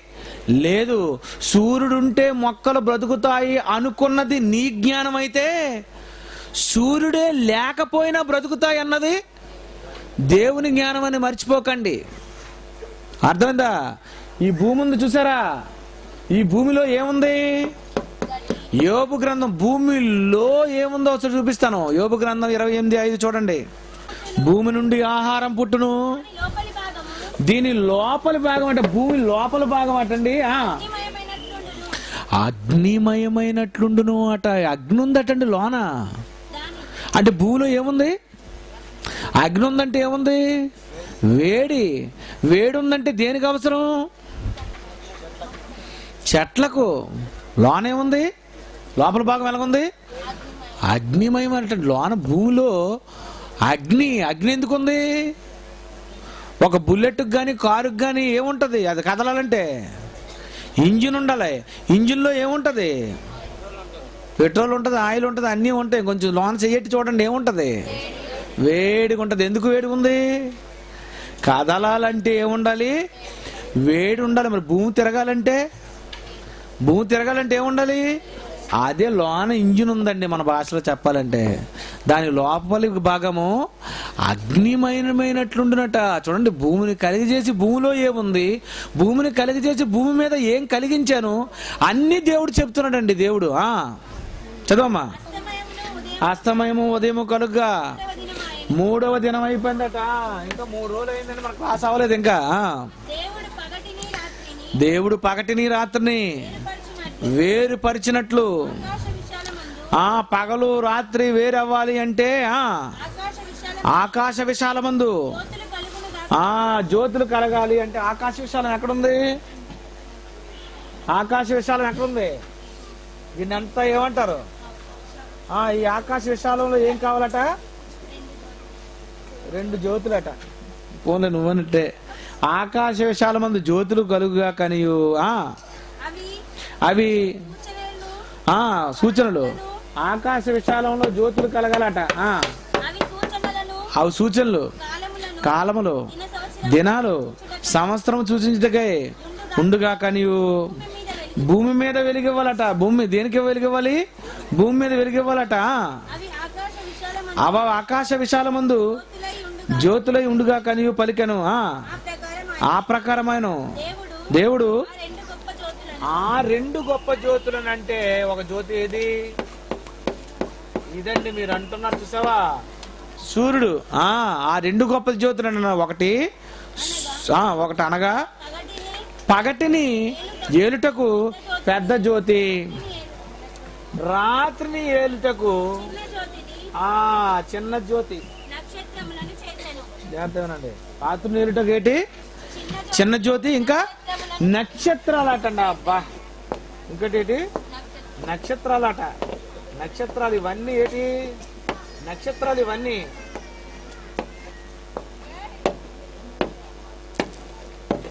ఇవన్నీ ఏంటి? నక్షత్రాలు. ఎన్ని ఉన్నాయి నక్షత్రాలు? నక్షత్రాలు ఎన్ని ఉన్నాయి అవన్నీ నేను వేస్తే చేయి పీకుతుంది. మీరు రాసుకోండి. కోటాను కోట్ల నక్షత్రాలు అటండి ఆ నక్షత్రాలు పెద్ద జ్యోతి సూర్యుడు చిన్న జ్యోతి చంద్రుడు ఇదేటి? భూమి. ఇవన్నీ కూడా దేనికి వెలిగివ్వాలట? భూమి మీద వెలిగించుట కంటే ఈ సూర్యుడైనా దీనికే వెలిగివ్వాలి చంద్రుడైనా దీనికే వెలగాలి. నక్షత్రాలు కూడా టోటల్గా ఫోకసింగ్ అంతా దేనికి కొట్టాలా మొత్తం ఫోకస్ అంతా ఎలా ఎలాగుంది? ఆ? భూమి కట్టండి. భూమి మీద వెలుగివ్వాలి అంటే నక్షత్రాలు భూమికే వెలుగివ్వాలి సూర్యుడు భూమికే వెలుగివ్వాలి చంద్రుడు భూమికే వెలుగివ్వాలి. టోటల్గా ఇవంతా ఫోకస్ టార్చ్ లైట్లతో మొత్తం అందరూ కలిసి దేని కొడుతున్నారు? భూమి కొడుతున్నారట. అంటే మొత్తం అంతా కూడా సెట్టింగ్ అంతా దేని మీద ఉంది? భూమి మీదే ఉందట. ఎందుకు భూమి మీదే ఉంది చూపు? ఈ భూమి మీద ఎందుకు ఉందంటే మొత్తం కార్యక్రమం అంతా అక్కడే ఉంది. ఆ చదవమ్మా. భూమి మీద వెలిగించుటకు పగటిని రాత్రిని వేరు వేరు- వేరుపరచుటకు ఏలుటకు వెలుగును చీకటిని వేరుపరచుటకును దేవుడు ఆకాశ విశాల మందు వాటి నుంచను అది మంచిదైనట్టు దేవుడు చూశాడట. అస్తమయము ఉదయము కనుక నాలుగో దినమైనట అంటే నాలుగో దినం కూడా అయిపోయిందండి మనకి. అంటే మూడో దినం ఏం పుట్టాయి? భూమి మీద మొక్కలు పుట్టాయి. నాలుగో దినం ఏం పుట్టాయి? సూర్య చంద్ర నక్షత్రాలు అన్ని కూడా ఎక్కడ పుట్టాయి? విశాలంలో పుట్టాయి. ఎక్కడ సూర్య చంద్ర నక్షత్రాలు ఉన్నాయి ఎక్కడ ఉన్నాయా? ఆకాశంలోనే ఉన్నాయి. ఎక్కడ ఏవి కలిగించాడో ఏ రోజు కలిగించాడో చెప్తున్నాను నీ గురించి. ఆ. దేవుడు జీవము కలిగి చెలించి వాటిని జలములు సముద్రుగా పుట్టించుగా కనియు. ఆ ఈ జలాలన్నీ కూడా సముద్రాలు ఉన్నాయి చూసారు ఈ సముద్రాలన్నీ కూడా చేపలు పుట్టించాలట. ఇక్కడే పక్షులు కూడా పుట్టాలట. అంటే పక్షులు పుట్టేసాయి సముద్రాల్లో ఉన్న చేపలు కూడా పుట్టాయి. అర్థమైందా? భూమి పైన ఆకాశ విశాలమందు భూమిపైన ఆకాశ విశాల మందు ఎగురును గాక నీవు పలుగా ఆ జలములలో వాటి వాటి జాతి ప్రకారము జమ జలములు సమృద్ధిగా పుట్టించు. మహామత్స్యములు. జీవము కలిగి చలించి వాటిని అనగా దాని దాని జాతి ప్రకారము. రెక్కలు గల ప్రతి పక్షిని సృజించానంటే ఇక్కడ ఏమున్నాయి చెప్పండి? పక్షులు ఉన్నాయి ఇక్కడ ఏమున్నాయి? పక్షులు ఉన్నాయి ఇంకా సముద్రాల్లో ఏమున్నాయి? చేపలు ఉన్నాయి ఇక్కడ నీళ్ళు ఉన్నాయా లేవా? ఉన్నాయి. ఇక్కడ ఎక్కడ నీళ్ళు ఉన్నాయా. ఉన్నాయి దీని మీద నీళ్ళు ఉన్నాయా లేవు. దీని మీద నీళ్ళు ఉన్నాయా లేవు. నీళ్ళు ఎక్కడున్నాయి? ఇక్కడే ఉన్నాయి. ఇక్కడ ఏం పుట్టాయి? పక్షులు? చేపలు ఎందులో పుట్టాయి? సముద్రంలో పుట్టాయి. ఎక్కడున్న నీటిలో చేపలు ఉన్నాయా? ఎక్కడున్నటువంటి నీటిలో చేపలు ఉన్నాయా? చేపలు ఎక్కడ ఉన్నాయి? ఎక్కడే ఉన్నాయి? ఏ సైంట్ అయిన రిజిస్ట్ అయినా మీ దగ్గరకు వచ్చి బాబు మేము ఎక్కడున్న చేపను తినాలని వెళ్తున్నాం అని అన్నాడు అనుకో నువ్వేమంటావు? ఎవరు బుద్ధిహీనుడా? చేపలు ఎక్కడే ఉన్నారా అక్కడ ఏమీ లేవురా అని నువ్వు చెప్పొచ్చు అనమాట ఈజీగా. చెప్పు చదవమ్మా. అది మంచిదని దేవుడు చూశాను దేవుడు మీరు ఫలించి. ఎక్కడికి వచ్చావు? ఇరవై నాలుగా? ఇరవై రెండు. మీరు ఫలించి. అభివృద్ధి పొంది. సముద్ర జలములలో మీరు నిండి ఉండాలి. మీరు ఎక్కడ అంగారకుని మీద కానీ బుద్ధుడి దగ్గర కానీ పిచ్చి పిచ్చి వేసాలు వేసుకుని గంతులు వేసుకుని ఎగురుపుకొని వెళ్ళడం కానీ ఇలాంటి మీరు ఎదవేశాలు వేయకూడదు. ఇవన్నీ కూడా మీరు ఇందులో ఉండాలి. ఆ. జలములలో మీరు నిండి ఉండాలి. ఆ. పక్షులు భూమి మీద ఎగరాలి. విస్తరించుగా కని పలికను. వాటిని ఆశీర్వదించాను. మీరు పిల్లల్ని కనండి అని. అస్తమయం ఉదయం కలుగా. ఐదో దినం అయిపోయిందండి. ఐదో దినం అయిపోయిందట. అంటే నా ఐదో దినం ఏ పుట్టాయి? పక్షులు? జలంలో ఉన్నటువంటి చేపలు? ఇవన్నీ కూడా పుట్టాయి. ఎన్నో రోజు? ఐదో రోజు. తర్వాత ఏమైందో చదువుతా చూడండి. దేవుడు వాటి వాటి జాతి ప్రకారము. జీవము గల వాటిని అనగా వాటి వాటి జాతి ప్రకారము. పశువులు పురుగులు అడవి జంతువులు భూమి పుట్టించుగా కాని పరుగు అంటే భూమి ఏదేది పుట్టించింది? పురుగులు. ఇంకా జంతువులను. పశువులను. అంటే పశువులు ఎక్కడ పుట్టాయి? జంతువులు ఎక్కడ పుట్టాయి? పురుగులు ఎక్కడ పుట్టాయి? పక్షులు ఎక్కడ పుట్టాయి? ఇక్కడ ఎక్కడే భూమి మీద. చేపలు ఎక్కడ పుట్టాయి? భూమి మీద ఉన్నటువంటి సముద్రాల్లోనే. అంటే స- చేపలు కానీ మరి పక్షులు కానీ జంతువులు కానీ పురుగులు కానీ పక్షులు కానీ ఇవన్నీ కూడా ఎక్కడ ఉన్నాయని మీరు ఆలోచిస్తే భూమి మీద మాత్రమే ఉన్నాయి. మరి మిగిలినటువంటి చంద్రుల్లో ఏమైనా ఉన్నాయా? పక్షులు కానీ జంతువులు కానీ పురుగులు కానీ బుద్ధజీవులు కానీ బుద్ధిలేని జీవులు కానీ దెబ్బ జీవులు కానీ అలాంటి ఏమైనా ఉన్నాయా? ఏ జీవులు? లేవు జీవే లేదు మొక్కలు లేవు పక్షులు లేవు నీరు లేదు మీరు లేరు. చంద్రుని మీద ఏమీ లేదు సూ- సూర్యుని మీద ఏమీ లేవు. మరి మిగిలినటువంటి నవగ్రహాలు అన్నాడు మరి దాని సంగతి ఏంటి? అందులో ఏమున్నాయా? ఏమండి అవేమైనా ఉన్నాయా? అందులో ఏమైనా ఉన్నాయా? మిగిలిన గ్రహాలు ఉన్నాయి బుద్ధుడు శుక్రుడు శని అంగారకుడు వీళ్ళందరూ ఉన్నారు కదా. వీళ్ళలో ఏమైనా ఉన్నాయా? ఏమైనా ఉన్నాయని మీతో చెప్పాడా రాశాడా? మీతో చెప్పలేదు మీతో చెప్పలేదంటే అర్థం ఏంటి లేవు గనక ఉంటే చెప్తాడు కదా. అమ్మ అప్పుడప్పుడు అక్కడికి వెళ్ళు అని చెప్తాడు కదా. చెప్పలేదంటే అక్కడ ఏమి? లేవు. ఎందుకంటే ఆకాశ విశాలంలో దేవుడు జ్యోతులు కమ్మని పలికాడు.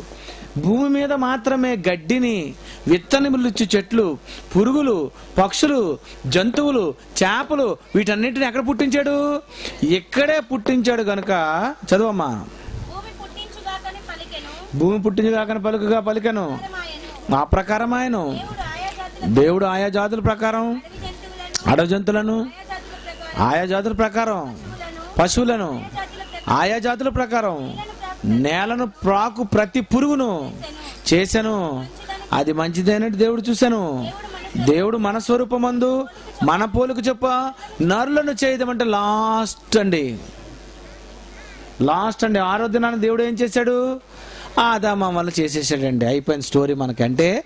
ఆదామామలు ఎక్కడ పుట్టారు? భూమి మీద నరులు ఎక్కడ పుట్టారు? భూమి మీదే. పక్షులు ఎక్కడ పుట్టాయి? భూమి మీదే. జంతువులు ఎక్కడ పుట్టాయి? భూమి మీదే. మొక్కలు ఎక్కడ పుట్టాయి? భూమి మీదే. చేపలు ఎక్కడ పుట్టాయి? భూమి మీదే. అంటే జీవి అంటూ ఉంటే ఎక్కడ ఉంటుంది? భూమి మీదే ఉంది. ఇంతకీ ఈ జీవులన్నీ ఎందుకు ఉన్నాయో ఇక్కడ? హీరోలండి మీరు. హీరోలైనటువంటి మీ అందరూ ఉన్నారని మీ గురించే దేవుడు ఇక్కడ కలిగించాడు. ఇక్కడ కలిగి చేస్తే ఎలాగా? ఇక్కడ కలుగు చేస్తే ఎలాగా?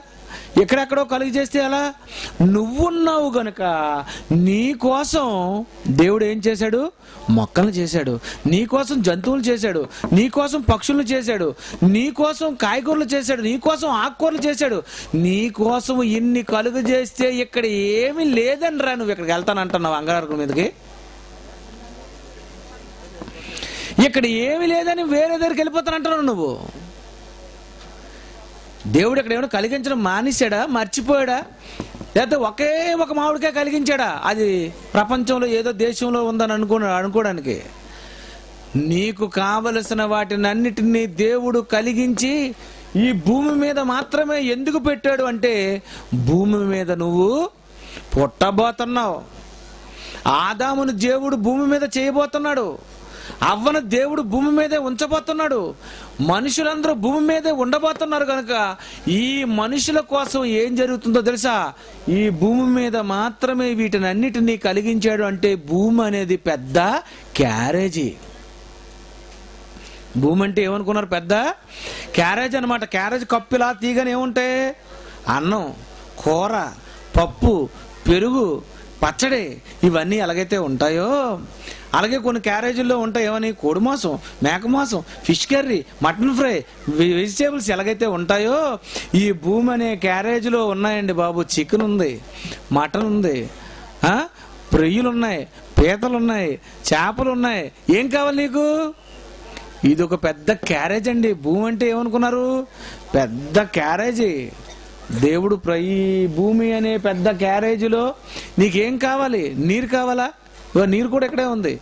మరి మరి ఆహారం కావాలా? ఆహారం ఇక్కడే ఉంది. పచ్చడి కావాలా? ఇక్కడే ఉంది. పెరుగు కావాలా? ఇక్కడే ఉంది. ఏం కావాలి? అన్నీ ఇక్కడే పెట్టాడంటే ఈ భూమి మీద మాత్రమే జీవులు ఉన్నాయని ఈ భూమి మీదే మొక్కలు ఉన్నాయని ఈ భూమి మీదే పక్షులు ఉన్నాయని భూమి మీద తప్ప మిగిలిన ఏ గ్రహాలలో కూడా జంతువులు లేవు పక్షులు లేవు బుద్ధజీవులు లేవు అసలు మిగిలిన గ్రహాలలో ఏమైనా ఉన్నాయా? ఏవి లేవు. అన్నీ ఎక్కడున్నాయి? ఇక్కడే ఉన్నాయి. కనుక ఈ చంద్రుడు కానీ ఈ సూర్యుడు కానీ ఈ నక్షత్రాలు కానీ ఎవరికి వెలిగివ్వాలి? ఫోకస్ అంతా దేనికి ఉంది దీనికే ఉంది. అంటే అంటే సూర్యుడైనా వెలుగు భూమికే చంద్రుని వెలుగైన భూమికే నక్షత్రాలు వెలుగైన భూమికే అంటే వీళ్ళ చూపంతా ఎవరి మీద ఉంది? భూమి మీదే ఉంది. మీ అందరూ ఫుట్బాల్ తెలుసా? ఫుట్బాల్ ఫుట్బాల్ ఆడతారు గ్రౌండ్లో. ఈ బంతిని తన్నుకొని వెళ్తున్నప్పుడు మీ అందరి చూపు చుట్టూరు కూర్చున్నటువంటి వాళ్ళందరి చూపు ఎవరి మీద ఉంటుంది? ఆ? బంతి మీద ఉంటుంది. అంతేనా? బంతి ఎట్టు కొట్టాడు? బంతి ఎట్టు కొట్టాడు? అలాగ అలాగ అలాగ అలాగ బంతి బంతి బంతి తిరిగి తిరిగి తిరిగి అప్పుడు గోల్ అవ్వాలి. చుట్టూరు కూర్చున్న వారందరి చూపు ఎలాగైతే బంతి మీద ఉంటుందో అలాగే చంద్రుని చూపు ఎవరి మీద ఉంది? బంతి మీద భూమి మీద. సూర్యుని చూపు నక్షత్రాల చూపు దేవుడు చూపు దెయ్యం చూపు దేవదూతల చూపు సూర్యుని చూపు మీ చూపు.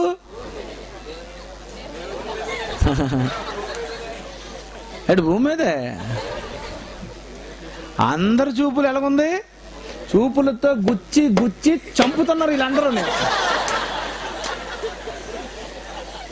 మీకు అర్థమైందా? అందరి చూపులు ఎవరి మీద ఉన్నాయి? అందరి చూపులు నాపై ఉన్నాయి నా చూపు నీపై ఉంది. ఇంతమంది ఎందుకు కాన్సన్ట్రేషన్ పెట్టుకొని ఉన్నారంటే ఇక్కడ ఉన్నాడండి. హీరో నువ్వున్నావని. అంటే ఈ భూమిని దేవుడు ఎందుకు చేశాడు? నీకోసం గాలిని ఎందుకు చేశాడు? నీకోసం. నీరెందుకు చేశాడు? నీకోసం. ఆహారం ఎందుకు చేశాడు? నీకోసం. నీకోసం ఇంత చేసినప్పుడు ఇక్కడ నువ్వే లేకపోతే భూమే బూడిదైతే నువ్వే లేకపోతే ఈ సిస్టమ్ అంతా ఎందుకు చెప్పండి? ఇదంతా కూడా భూమి మీద ఇవన్నీ కూడా దేవుడు ఎందుకు కలిగించాడంటే దేని గురించి? మీ గురించే కలిగించినప్పుడు ఇప్పుడు మనం సరదాగా అంగారకుని మీదకి వెళ్దాం. అంగారకుని మీద నీళ్ళున్నాయా? లేవు. పక్షులున్నాయా? లేవు. చేపలున్నాయా? లేవు. జీవులున్నాయా? లేవు. తోటకూర ఉందా లేదు. ఎందుకు లేదు? ఎందుకు లేదు? దేవుడు కలిగించలేదు కనుక మరి బుద్ధుని మీదకి? శుక్రుని మీదకి? శని మీదకి? ఏమి లేదా? ఎలా తెలుసు?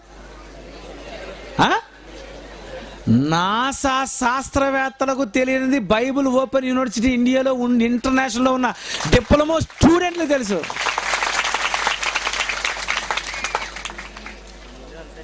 అక్కడికి వెళ్ళి అబుల్ టెలిస్కోప్ మీద ఏ అంతరిక్ష నౌక మీద వెళ్ళడం ఏంటి?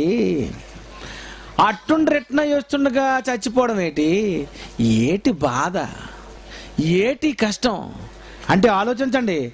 ప్రపంచంలో ఏ సైంటిస్ట్కైనా మహాజ్ఞానాన్ని బోధించాలంటే ఎవరు చెప్పగలరు? డిప్లొమా నేర్చుకున్నటువంటి ఒక స్టూడెంట్ చాలండి బాబు. అందుకే సుందరరావు గారు ఏమంటారు? మా దగ్గర డీబీటీఏ చదువుతున్నోడితో ఓడించేస్తామంటారు. ఇందుకే. ఇప్పుడు నాసా సైంటిస్ట్ని చూస్తే నువ్వేమనుకోవాలా? ఈడ కూర్చోరా. ఈ పాట వినకపోతే నీకు ఎలాగుంటది? సైంటిస్ట్ అండి సైంటిస్ట్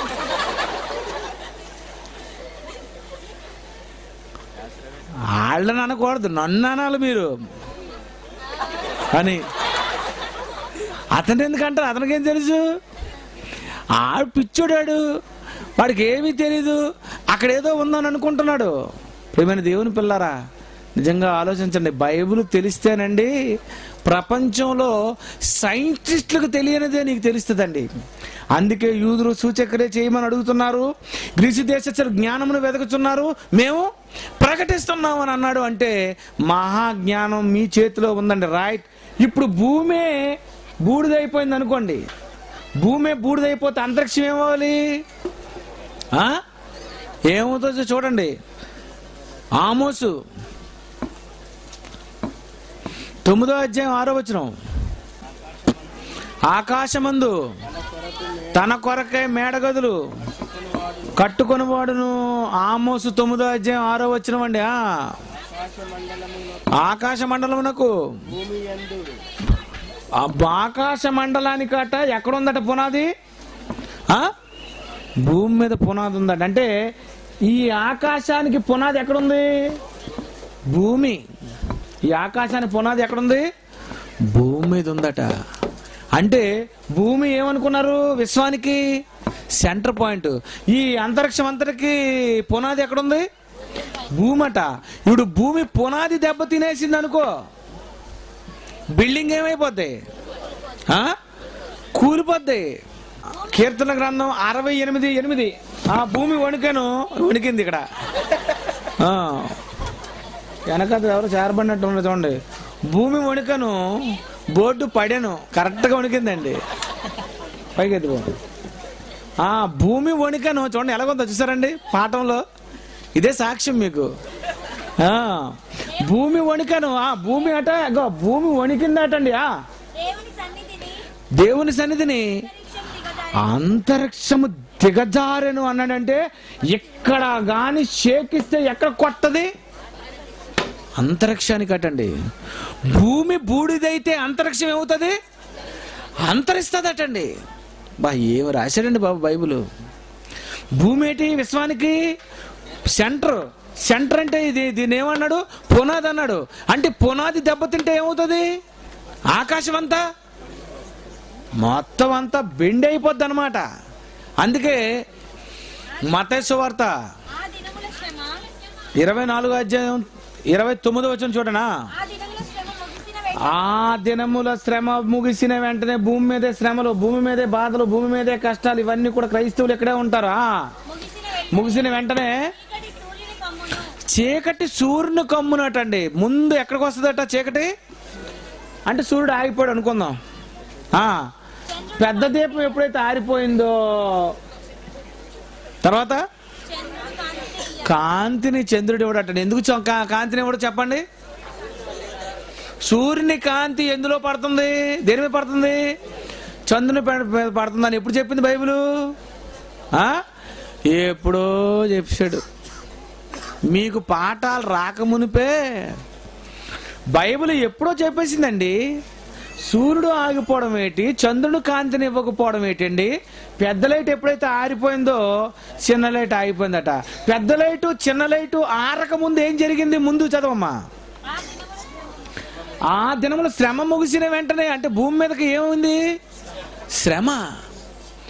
భూమి మీద శ్రమలు ఎప్పుడైతే ప్రారంభమైందో పెద్ద లైట్ అయిపోయిందట. పెద్ద లైట్ అయిపోగానే ఇంకెందుకు అనుకుని అతను అయిపోతే ఇంకెందుకు? అయితే నాకు రెస్ట్ అనుకుని చిన్న లైట్ అయిపోయిందట. చిన్న లైట్ ఎప్పుడైతే అయిపోయింది నెక్స్ట్ ఏం జరిగింది?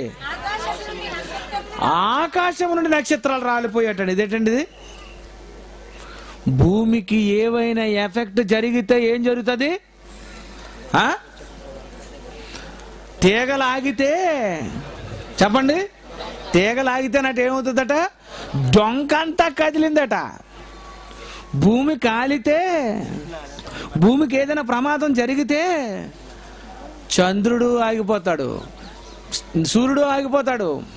నక్షత్రాలు ఆరిపోతాయి. విశ్వ చక్రం ఏమైపోతుందో తెలుసా? ఆకాశమందలి శక్తులు కదిలింపబడును. అంటే శూన్యంలో భూమిని శూన్యంలో చంద్రుణ్ణి శూన్యంలో నక్షత్రాలను ఈ ఆకాశ విశాలంలో ఉన్నటువంటి ఇవన్నీ కూడా శూన్యంలో ఉన్నాయి. వీటిలన్నిటికీ తాళ్ళు కానీ ఇంకేమీ లేవు. శూన్యములో ఏ ఆధారం లేకుండా వేలాడుతున్నటువంటి ఈ నక్షత్రాలన్నిటినీ పట్టి ఉంచాలంటే ఆకాశమందలి శక్తులటండి. ఈ శక్తులన్నీ కూడా ఉండబట్టే శూన్యంలో ఇవన్నీ ఉన్నాయి. ఒక్కసారి శక్తులు గాలి కదిలింపబడితే ఏమైపోతాయి? నక్షత్రాలు అన్నీ ఎక్కడున్నాయి? పైన ఉన్న ఇవన్నీ ఎక్కడ పడిపోతాయి? భూమి మీద పడిపోతాయి. భూమి మీద ఎవరున్నారు? నువ్వు ఉన్నావు ఇంకేమైనా ఉందా? ఇంత సిస్టమ్ ఇదంతా దేవుడు ఎందుకు ఏర్పాటు చేసినందుకు? చేసినట్టు. నీ గురించి ఏర్పాటు చేశాడు. నువ్వు పుట్టాలి అని నువ్వు అతని గురించి ప్రకటించాలని నువ్వు అతని కోసం బ్రతకాలి అని నీకేం కావాలో అన్న దాని గురించి నువ్వు ఏ గ్రహాలలోనికి వెళ్ళవలసిన అవసరం లేదు నాయన. నీకు కావలసినవన్నీ భూమి మీదే చేశాను. ఈ భూమిని మాత్రం నీకు ఒకటి చేస్తున్నాను. ఏంటో తెలుసా? అపోశ్రీ కార్యాలు పదిహేడు అధ్యాయం ఇరవై ఆరు. అపోస్తుల కార్యాలు పదిహేడు ఇరవై ఆరు. మరియు యావత్తు భూమి మీద కాపురముడుటకు ఆయన ఒకరి నుండి ప్రతి జాతి మనుషులను సృజించి. వారు ఒకవేళ దేవుణ్ణి తడవలాడి కనుగొందురేమో అని వాటి వారి నివాస స్థలం యొక్క పొలిమేరలను ఏర్పరిచాను. అంటే ఈ భూమిని దాటి నువ్వు వెళ్ళడానికి వీల్లేదు. బాబేలు గోపురం కట్టాలి అని ఆకాశాన్ని అంటే శిఖరాన్ని కట్టాలని బయలుదేరిపోయారు. దేవుడు ఏం చేశాడు? ఇంక ఇలాగ ఆకాశాన్ని అంటే శిఖరాన్ని అలా కట్టుకొని వస్తే భూ గ్రావిటీ పోయిన తర్వాత ఏమవుతారు? పైకి వెళ్ళిపోయిన వాళ్ళు తట్టలతో అలా పైకి వెళ్ళిపోతారు. సిమెంట్తో అలా పైకి వెళ్ళిపోతారు. బుట్టలతో పైకి వెళ్ళిపోతారు.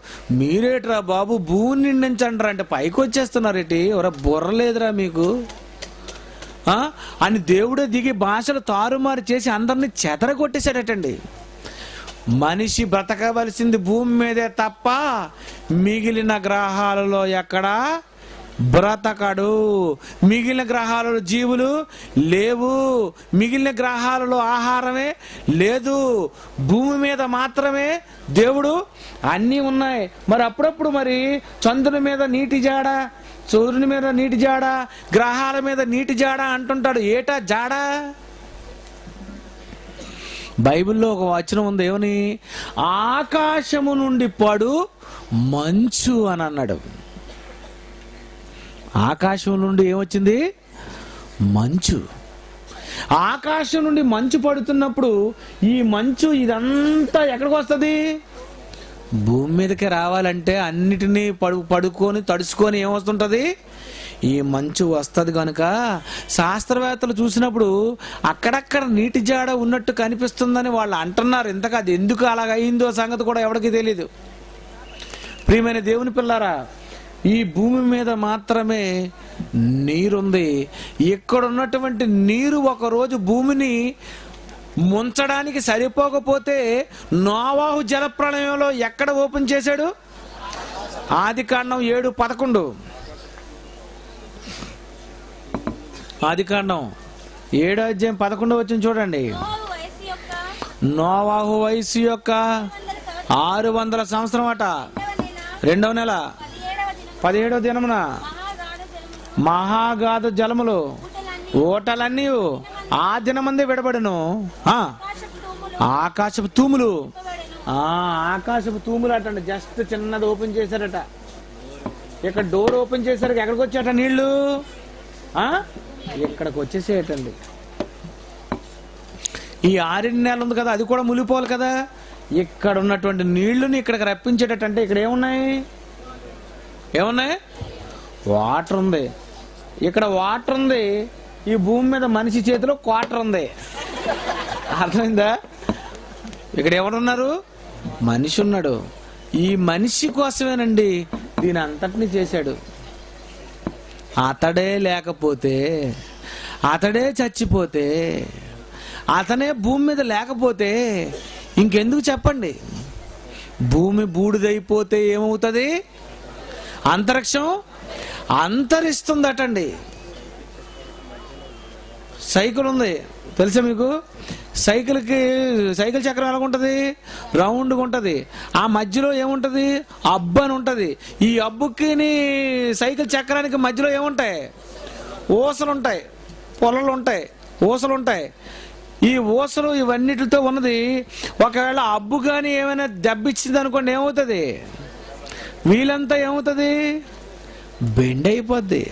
మధ్యలో ఊసలు కానీ లేవనుకో ఏమవుతుంది? బెండ్ అయిపోద్ది అలాగే భూమి కానీ ఏదైనా ప్రాబ్లం జరిగిందనుకో ఏం జరిగితే ఏం జరుగుతుంది? ఈ ప్రకృతి చక్రం అంతా కూడా ఏమైపోద్ది? నాలుక అగ్నియే అది మన అవయవములో ఉంచబడిన పాప ప్రపంచమై సర్వ శరీరమునకు మాలిన్యము కలుగజేచు ప్రకృతి చక్రమునకు చిచ్చు పెట్టును అని అన్నాడు అంటే ప్రకృతి చక్రమే దెబ్బతింటది. ఎక్కడ? ఎక్కడుంది నాలిక? భూమి మీద ఉన్నటువంటి ఈ మనిషిని బట్టి ప్రకృతిలో ఉన్నటువంటి చక్రమే దెబ్బ తింటది అని అన్నాడు అంటే ప్రియమైన దేవుని పిల్లరా ఈ భూమి ఏదో అయిపోతే అంగారకుల మీదకి వెళ్ళిపోతావా? ఈ భూమి ఏదో అయిపోతుందని చంద్రుని మీదకి వెళ్ళిపోతావా? చంద్రుని మీద ఏముంది బ్రతకడానికి? భూమి మీద తప్ప మనిషి ఎక్కడా బ్రతకలేడు నక్షత్రములలో నీవు నివాసము కట్టినను. నిన్ను అక్కడ నుండి కూడా పడవేతును ఓపద్య ఒకటి నాలుగులో అన్నాడు అంటే భూమి మీద తప్ప మిగిలిన గ్రహాలలోనికి నువ్వు ఒకవేళ వెళ్ళాలని వెళ్ళినా